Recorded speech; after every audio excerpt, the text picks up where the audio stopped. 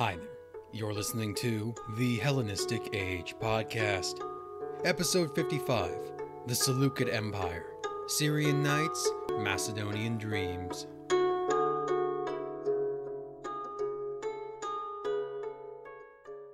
In the previous episode, the first of a two part look at the Seleucid Empire, we spent time discussing the administration of the realm. The Seleucid kingship was transactional and expressed itself in terms that could be read as Greco Macedonian, Iranian, and Near Eastern. Delegation to those like satraps and local power holders was imperfect, and demanded a peripatetic government where the king constantly needed to enforce his imperial presence among the many cities and territories by visiting them personally. With the second part, I plan on focusing on the ways that the Seleucids transformed the landscape of the empire with the creation of an imperial heartland and populating the territory with dozens of settlements. We will also talk about the responses of the immigrant Greeks to their new surroundings and those of the indigenous peoples who were now faced with a new political and cultural elite. Let us start with the landscape of the empire. Before the arrival of the Macedonians, the Near East and Levant were home to several impressive cities like Babylon and Tyre, so they were no strangers to the idea of urbanization. With the conquests of Alexander and the infighting of his successors came the creation and spread of Greek styled cities across the Hellenistic world. But the Seleucids were unsurpassed in the scale and scope of their building program. There are over 120 named settlements that can be attributed to the dynasty, with about 70% of them located west of the Euphrates River. The majority of these are tied to Seleucus I and his son Antiochus I, and Appian suggests that at least 34 cities were founded by Seleucus, however true that may be. But new settlements would continue to be built down to the mid 2nd century. Of course, the settlements came in a variety of sizes, ranging from the large cities, polis, to smaller colonies, katoikia. But it is still a significant change. Two places were subject to a radical transformation of the urban landscape in particular. First, in the region near the lower middle Tigris River, and then most especially in North Syria. What is important about those regions is that they were largely devoid of any sprawling urban plan prior to the Seleucid interference. At the time of Alexander's death, most of the major native cities like Babylon and Uruk could be found along the Euphrates River. Babylon served as the birthplace of the Seleucid Empire, the origins of Seleucid power, and it is no surprise that if there were to be any building projects or creation of an imperial heartland, then this would be the place to start. But if a king was looking to try and impose some sort of dynastic stamp over this region, they would soon find it to be a fruitless effort, the sheer antiquity and reputation of these places meant that attempts to rename the city or turn it into a Seleucid capital would only be a thin veneer, and the name and image of Babylon would supersede all others. Seleucus I recognized this, but he also recognized the political and economic value of the region and the need for some form of imperial presence. So instead, he turned his attention roughly 35 miles to the north along the Tigris River the other great body of water that provided Mesopotamia its fertility. It is here during the late 4th century that the foundation of the first great Seleucid city would take place, Seleucia on the Tigris. The size of Seleucia was enormous, easily on par with Alexandria in Egypt, and considerably larger than the more famous Seleucid city of Antioch on the Orontes. Its population was also gargantuan, with estimates by ancient authors suggesting around 500,000 individuals at the turn of the millennium but to allow for such a carrying capacity, the Seleucids sponsored an extensive canalization project that exploited the natural fertility of the Tigris River. Seleucia also took advantage of the pre existing royal canal built by the Neo Babylonian rulers that allowed access to waterways that would link it to both the Mediterranean and the Indian Ocean, which, in conjunction with its harbor, enabled the influx of great amounts of trade. From the very beginning, Seleucus I founded Seleucia as his capital, Babylonian chroniclers called it the Royal City, and the excavation of the archival building has uncovered around 25,000 government seals that would have been found on official documents, a testament to the amount of administrative work taking place. As the size of the empire expanded, Seleucia became the eastern capital intended to oversee the upper satrapies, given its important strategic position. As further proof of the impact and influence on the Seleucids' work along the Tigris, the lands immediately adjacent to Seleucia on the Tigris would serve as the future sites of other great cities. The Parthians would build Ctesiphon in the vicinity and make Seleucia a twin capital, and the Abbasid Caliphate would establish Baghdad in the 8th century AD. Though Babylonia may have acted as the cradle, Seleucid identity and power would ultimately rest in northern Syria. Prior to the Macedonian conquests, this region was very sparsely populated with a few accumulated outposts or villages and towns of the local Semitic populations. Barring the city of Damascus, it was the south that saw a greater concentration of wealthier urban settlements like Jerusalem and Tyre. In the initial decades following Alexander's death, quite a bit of work was being done in North Syria by none other than Antigonus the One Eyed, who must be given some credit for laying the foundation of and settling several Macedonian garrisons. He even founded the city along the Orontes, Antigonea. When Seleucus took it after the Battle of Ipsus in 301, he destroyed those cities and transported their populations into his settlements, which had begun to be constructed during the early 3rd century. The most important aspect of this region is known as the Syrian Tetrapolis. As its name implies, this is a collection of four major cities in North Syria built in the early years of Seleucid rule, arranged in something of a quadrilateral shape. The northeastern point was Antioch on the Orontes, more often referred to as the Antioch, which served as the administrative locus of the Tetrapolis and became its most prominent city. To the south of Antioch was Apamea on the Axios, the primary center for military operations, and also hosted a stud farm for both horses and, less successfully, war elephants. Along the coastline to the east was the port city of Laodicea by the sea, and north of that was the other port, Seleucia in Pieria, which was likely Seleucus's intended western capital. To make this all a little bit clearer, I will include a map of Seleucid Syria and draw out the Tetrapolis, which will be available in the episode notes on my website. The purpose of the Tetrapolis, and by extension North Syria, is largely military in function. To the immediate south, past the Eleutherus River, which divides modern day Syria from Lebanon, lay the northern tendrils of the Ptolemaic kingdom, the main rival of the Seleucids. The dispute between Ptolemaic and Seleucid houses can be traced to Ptolemy I claiming southern or Coele Syria following the Battle of Ipsus, when Seleucus I believed it to be his by right of conquest. This contentiousness would contribute to the outbreak of six Syrian wars, and so this region would see the near constant movement of troops and internecine warfare. The Tetrapolis could thus simultaneously act as a highway for Seleucid troops and a barrier for Ptolemaic incursions. Seleucia and Laodicea could help protect the route along the sea, while Apamea and Antioch acted as guards for any land invasions. It wasn't always successful though, and the Ptolemies would gain a foothold within this region at least once, such as during the Third Syrian War. The costly building programs in Syria and Mesopotamia were made possible by the great wealth of the empire, acquired from both the accumulated treasury of the Persians that had been taken by Alexander and his successors and from its own internal revenues. These new cities and villages would need to be provided with an immigrant population so that the land could be cultivated, and provide a pool for military manpower. Given the nature of these settlements, most of the original colonists would have been Greco Macedonian men, with a number of Greek women quite small in comparison. Not all settlers were of Greek origin either, though, in a letter from Antiochus III to his Philos Zeuxis, the king ordered the resettlement of 2,000 Jewish families from Babylon, very likely the descendants of the families taken during the Babylonian captivity in Phrygia, where they would be given farms and vineyards like their Greek counterparts. Many Jewish men served as mercenaries, as would several non Greek peoples looking to ply their trade, such as the Galatians, for instance. In turn, the trade in agricultural goods produced in these newly settled regions brought a substantial influx of revenue into the Seleucid economy each year to be used for the equally enormous costs of maintaining said empire.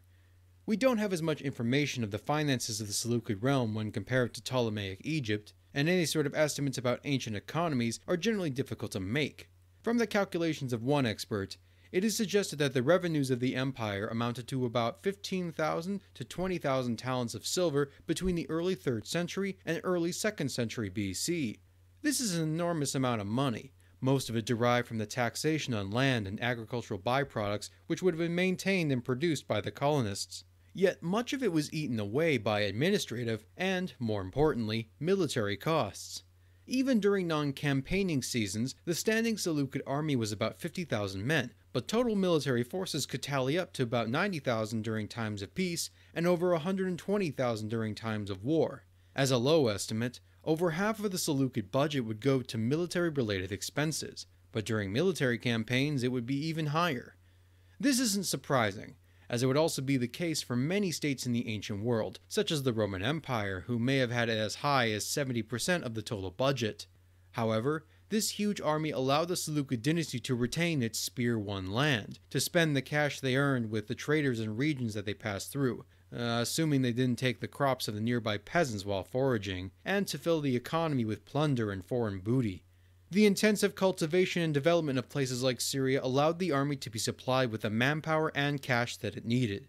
Once they would lose those sources of revenue, the empire would soon spiral out of control as well.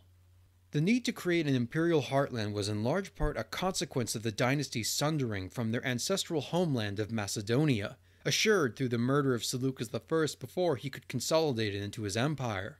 In some sense, Macedonia was transplanted and imposed upon the Syrian landscape. Towns and colonies were christened or renamed after cities and regions found mainly in Macedonia Amphipolis, Larissa, and Europus, to name but a few. Even the physical geography was affected. The Orontes River, the modern Ashi, was known as the Axios. This is the major river that cuts through Macedonia, but it is also likely no coincidence that the Macedonian capital of Pella and the Seleucid Antioch on the Orontes both sit adjacent to their own Axios. While many of these were directly bestowed by the Seleucid monarchy, some of the colonists of Macedonian Greek origin who immigrated to the region would name their new home after their previous ones. For instance, a group of settlers from Thessalian Larissa were said to have founded a Syrian Larissa, but it is especially striking when Syria is the only known area in the entire empire that possesses such naming conventions. At the same time, Syria had to reflect the new political realities of the age. Many of the cities of the new heartland would be given Seleucid dynastic names, like Antioch, Laodicea, and Seleucia. This not only was a way to obliterate the memory of the Antigonid or Persian occupation, but also acted as a reminder that this transplanted Macedonia was due to the beneficence of the Seleucid dynasty. The Seleucids were not above renaming natural features after themselves either. While not directly linked to Syria, Pliny the Elder suggests that there was an effort to change the name of the Caspian Sea to the Seleucian or the Antiochian Sea. Following Seleucus' murder and cremation, his ashes were brought by Antiochus to Syria so they could be interred in the family mausoleum in Seleucia Pieria. The burial of a king was a highly ceremonial and important event, and to be laid to rest in Syria confirmed the region's unique and important role in Seleucid identity, contrasting with Seleucus' original wishes for his remains to be returned to Macedonia upon his death. In my opinion, Syria became the core of the Seleucid Empire for three reasons. First, much of their cultural identity and political power was still tied to Greece and the Mediterranean. In contrast to Babylonia, Syria was much closer in terms of its distance and connections with the Greek mainland. Immigrant Greeks would form the majority of administrative offices and roles. They would act as colonists for the new cities and villages founded across the empire, and serve as pools for military recruitment. Non Greeks could and very often did fill these roles as well, as I will get to in a little bit. But as I argued in the last episode, the Seleucids largely ruled in the manner of a Greco Macedonian king and elevated Greek culture, despite their eagerness to incorporate non Greek traditions and practices into the monarchy. It therefore follows that they would wish to remain closely tied to that particular network. Second was its proximity to the kingdoms of the Ptolemies in Egypt and the Antigonids in Macedonia.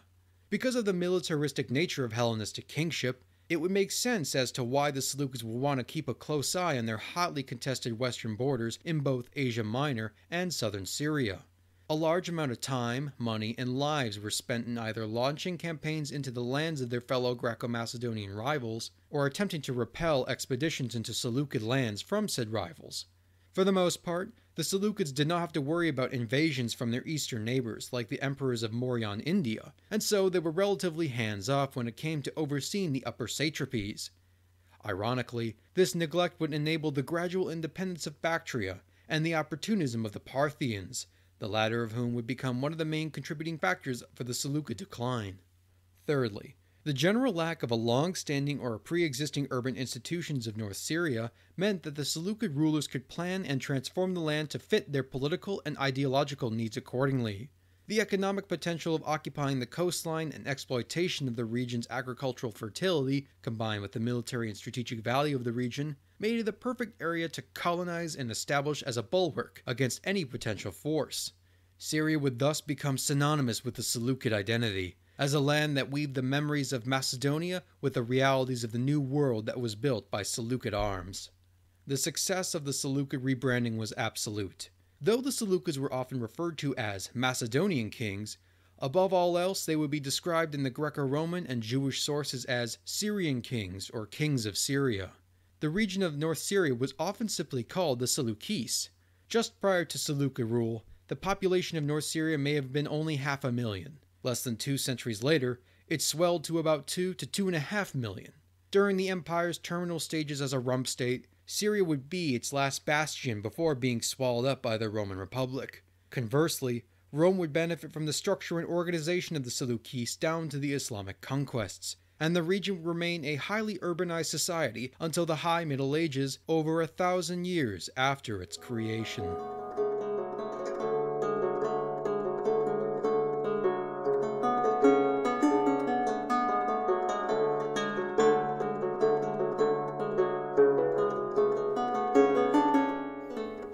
Said previously, the empire contains a vast number of diverse cultures and peoples, ruled by a relatively small minority of Greek officials who expressed a general preference to Greek culture.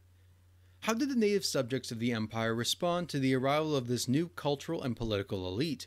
Was there a sort of cultural isolation where Greeks mingled only with Greeks, Syrians with Syrians, and so on and so forth? Let's investigate.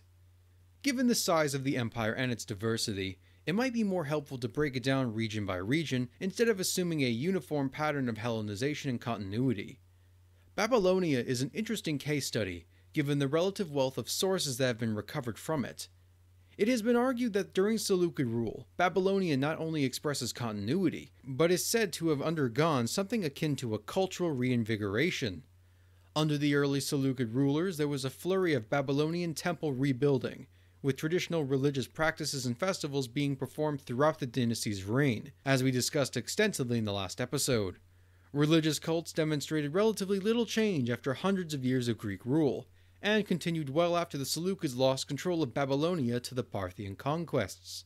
One perspective of Hellenistic Babylonia comes from a figure named Berosus, or Bel Re Usunu, a prominent figure of Babylonian origin who served under both Seleucus I and Antiochus I before emigrating to the Ptolemaic controlled island of Kos in the Aegean Sea. Though he spent much of his career as a staff member of the local temple complexes, Berosus is more well known as the writer of a Babylonian history, which sadly does not survive outside of quotations by later authors. As its name implies, it is a work primarily focused on the history of Babylon down to the Persian conquest but it is a striking blend of Greek historiographical traditions and a catalogue of Mesopotamian knowledge and mythology. It was written in Greek for a Greek audience, and strongly resembles the work of Herodotus, with the emphasis on geography and the willingness of the author to identify himself, a trait almost unheard of when it came to any Mesopotamian chroniclers. At the same time, Berosus is clearly proud of his Babylonian heritage. His work is dedicated to Antiochus I, who may have been the writer's patron, and it was likely conceived as a way to provide the new Macedonian kings a handy guide to the lands that they now ruled over. Another perspective is Anu Ubalit Nikarkusu, the governor of Uruk during the reign of Antiochus II Theos.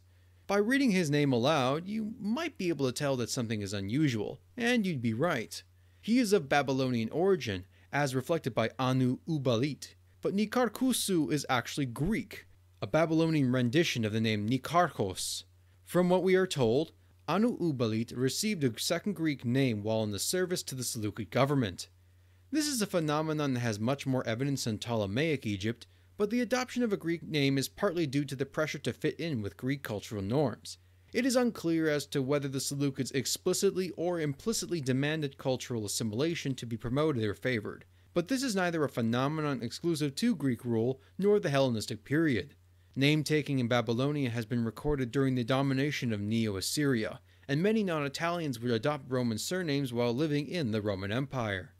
Though these snapshots are certainly invaluable, there are certain limitations as to what we can take away from them. Both Berosus and Anu Ubalit were members of the Babylonian upper class that worked for the Seleucid government. It is not unreasonable to think that the adoption of Greek culture was at least partially due to wanting to be part of that ruling elite, which itself was mainly comprised of Greeks. Even the sources that tell us about the two are framed within a Greek context. Is it possible to get the perspective of your everyday individual, whether Greek or Babylonian? Uh, more on that in a little bit. The Seleucids reoriented the structure of the Near East from the lower Euphrates to the Tigris, planting bastions of Greek culture like Seleucia on the Tigris against the backdrop of the traditional Mesopotamian cities like Babylon and Uruk. When you compare Babylon with Seleucia, there are some interesting points to consider. While Babylon has produced a treasure trove of cuneiform documents dating to this period, almost none have been found in Seleucia despite it being the administrative capital of the East. Yet there are thousands of those archival seals which are predominantly Greek in design. It is said that Seleucus and Antiochus deported several Macedonians living in Babylonia to Seleucia following its construction. And Pliny also claims that even after 200 years of Parthian rule following their conquest of the city, many of the members of Seleucia still retain their Macedonian identity and customs. It is not a wild assumption that the dynastic epicenters of the Seleucids were primarily Greek in identity and appearance. However, I don't wish to imply that these populations remain segregated from one another. In fact, there are pieces of evidence that give a suggestion that there was a greater degree of cohabitation and interaction between Greeks and non Greeks. Seleucia was an enormous settlement, and as an administrative and commercial epicenter of the upper satrapies, it would be surprising if it didn't have a cosmopolitan makeup. On the other end, it is actually not uncommon to find Greeks dwelling within traditional Babylonian communities. We have a list from Uruk that gives us the names and professions of the residents that lived in the region. Among them is Inakat Anu, a local shepherd that is said to be a, quote, a descendant of Makkah. Makkah means Macedonian, so the shepherd is either an immigrant or a descendant of earlier settlers from Macedonia that may or may not have intermarried with the local women. According to the Babylonian chronicles, Antiochus IV is said to have settled Greek colonists in Babylon during the mid 2nd century. Though Antiochus did not change the political structure of the city, Babylon's Greek population eventually became sizable enough to warrant the construction of such quintessentially Greek institutions like a theater and gymnasium.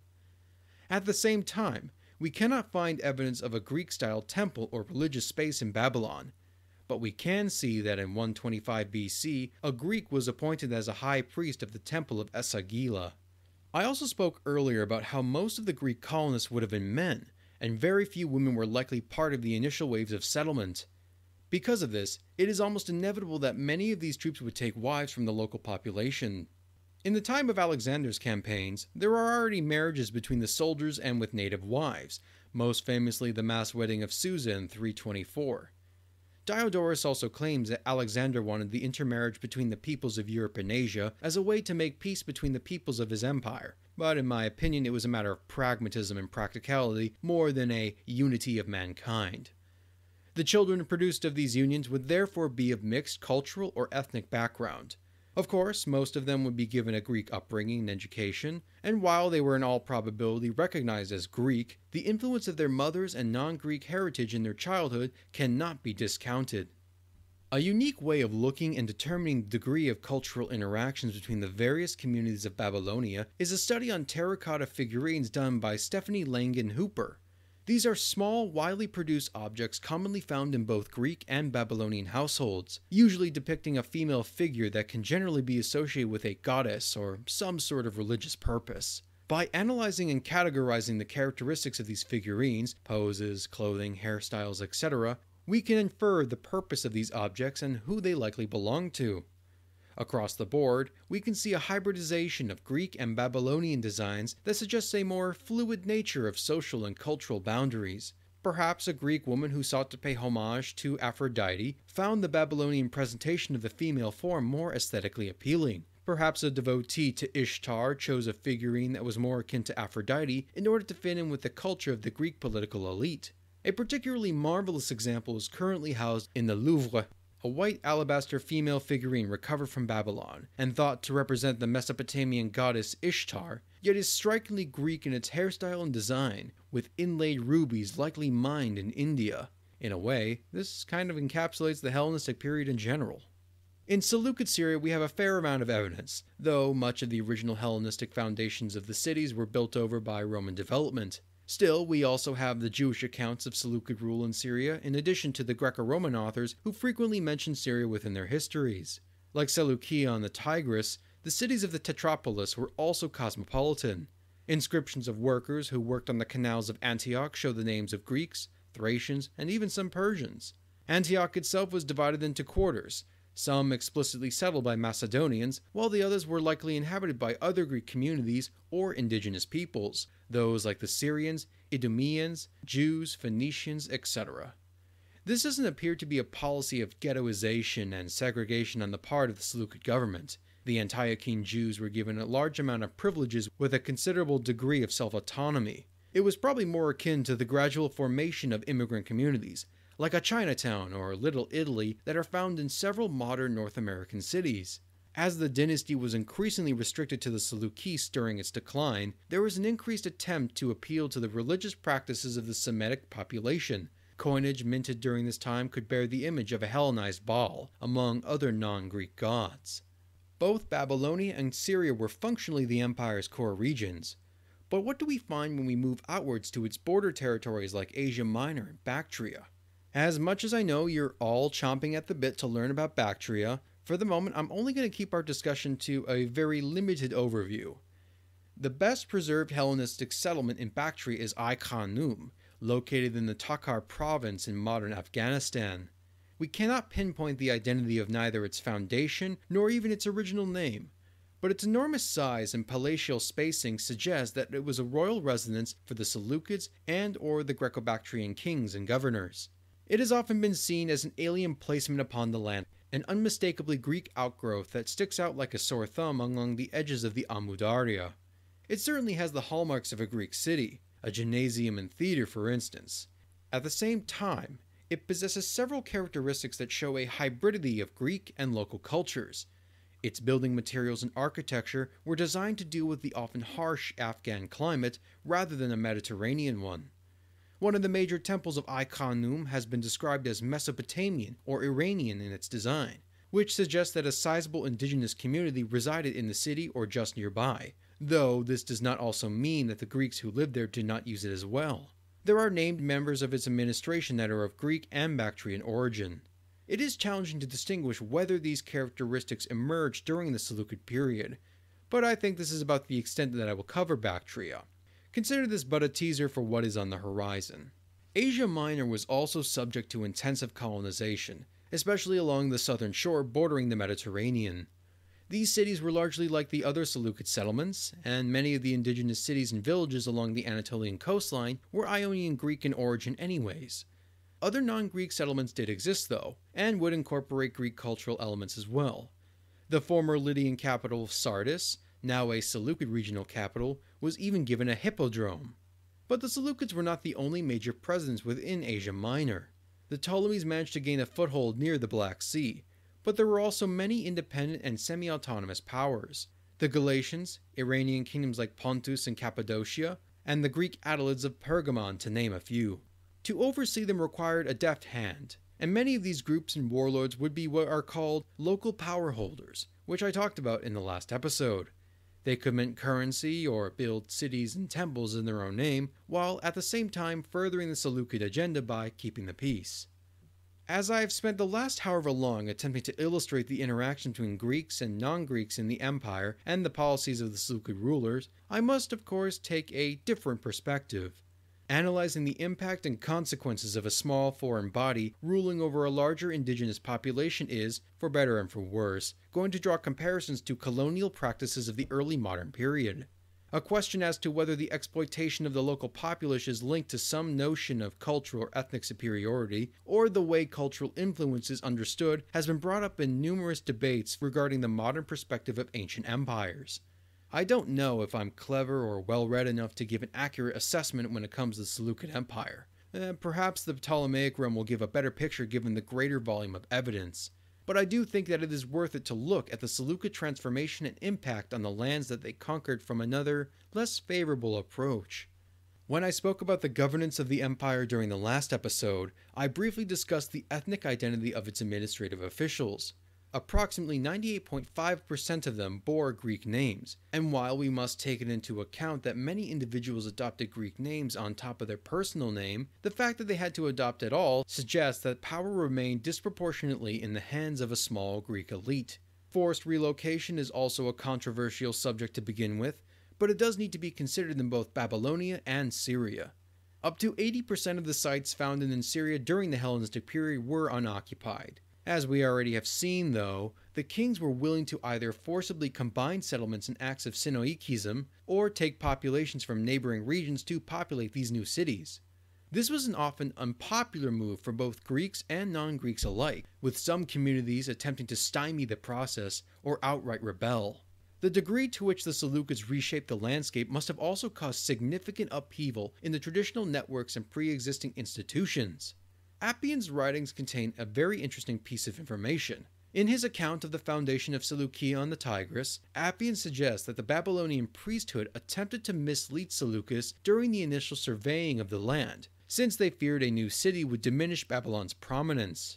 It's quite possible that this story was a retroactive creation since Seleucia would indeed overshadow its predecessor. The geographer Strabo refers to the Babylon of his time as a great desert, we also have indications that Antiochus I taxed Babylon to encourage emigration to Seleucia, and that both he and his father were willing to forcibly relocate the Macedonian population to the newer city, if need be. Easily the most well known case of native hostility to both Seleucid rule and influx of Hellenistic culture can be found in Judea with the Maccabean revolt, led by the Jewish Hasmoneans against Antiochus IV Epiphanes from 167 to 160 BC. By its very nature, being strongly tied to Jewish political and religious traditions, this conflict is extremely complicated and will command considerable attention when we eventually cover both it and Hellenistic Judaism. I can almost guarantee that we will spend an entire episode dedicated to critically analyzing the biblical accounts of the Hellenistic period, including the 1st and 2nd Maccabees and the Book of Daniel. But the question of preserving one's cultural identity was clearly an issue to some degree, as written by the very hostile author of 1 Maccabees. Quote, then the king, Antiochus IV Epiphanes, wrote to his whole kingdom that all should be one people, and that all should give up their particular customs. When compared to Rome, the Seleucids and other Hellenistic rulers were quite miserly when it came to the granting of citizenship. Even then, it was mainly given to ethnic Greeks. One of the privileges of the Antiochene Jews were the special oils that they would anoint themselves with when they exercised in the gymnasium, and being involved in the gymnasium specifically implied the adoption of a Greek lifestyle and customs, and by extension, citizenship. While I believe the claims of 1 Maccabees often toe the line between history and character assassination, it is very likely that the Seleucid favoritism and patronage of high ranking Jewish families that were more willing to adopt Greek culture did sow a degree of factionalism and strife in Jerusalem, whether unintentional or not. For all the effort that the Seleucids had gone through by planning out their empire, the Hellenistic Levant and Near East was politically unstable due to the sheer frequency of wars and civil wars fought between the competing powers. Though ordered by Ptolemy II Philadelphus, there is an edict dating to the year 265 which explicitly tried to curb the enslavement of the resident populations of Syria and Phoenicia, a plausible consequence of the internecine periods of violence waged between the armies of the Seleucids and Ptolemies during the Syrian wars. If they found themselves short on cash flow to pay for the military expenditures, the Seleucid kings could and would help themselves to the treasuries of sacred temples, both Antiochus III and IV infamously plundered the sanctuaries of Elymais and Jerusalem, which may have led to the death of the former.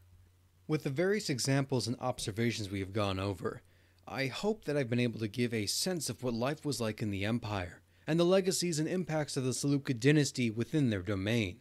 Attempting to summarize the experiences of millions of people in very different cultures isn't always easy but I think that being able to give a general idea in regards to each region of the empire can provide a better overall understanding of a rather complicated subject. But on that point, I think we can wrap up our two part coverage of the Seleucid Empire. This isn't going to be our last in depth look, and our normal narrative episodes will be blended with some detailed discussions. But in the next episode, we will be returning to the narrative of the Seleucids, the ever precarious stability of the empire will be threatened by a variety of challenges, both external and internal. the invasions of Ptolemy III into Syria, and incursions of steppe nomads into Central Asia, the rebellions of satraps at its borders, and the War of the Brothers, which would ultimately threaten the very existence of the Seleucid dynasty. Thank you all for listening and for your patience with the release of this episode. If you like what you've been listening to, consider leaving a review on the platform of your choice, or by donating via the show's Ko-Fi page, or picking up a show-themed bookmark. I encourage you to check out the bibliography for this episode, which can be found in the transcript located on this episode's page for my website. Just to make it easier, you can find those links in the podcast description or by searching www.hellenisticagepodcast.wordpress.com. As a brief heads up for what's to come, I have two interview episodes planned for the month of December, in addition to our next episodes on the Seleucid narrative, so I hope you look forward to those as a Christmas gift from me to you.